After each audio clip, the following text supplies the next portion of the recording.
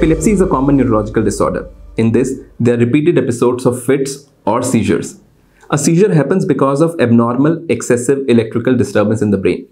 Epilepsy is of two types, focal and generalized. In focal epilepsy, there are twitches on the face or on the hand or foot or some eye blinking. In generalized epilepsy, the patient goes unconscious with jerky movements of all four limbs, uprolling of eyeballs, clenching of teeth, and at times tongue bite or urinary incontinence as well. There are different causes to epilepsy. Epilepsy may be genetic or non-genetic. In non-genetic epilepsy, it could be due to some brain infection like tuberculosis or neurocysticercosis. It can be due to head trauma, brain stroke, or rarely brain tumor as well.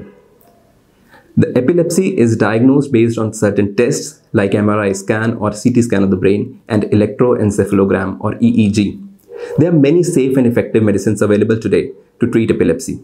We should spread awareness about epilepsy as much as possible to bust the myths associated with this disease. It's not contagious and not communicable to any person who stays with epileptic patients. Thank you.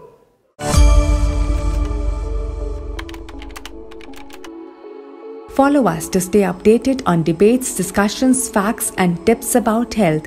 Click on the subscribe button and the bell icon for latest updates.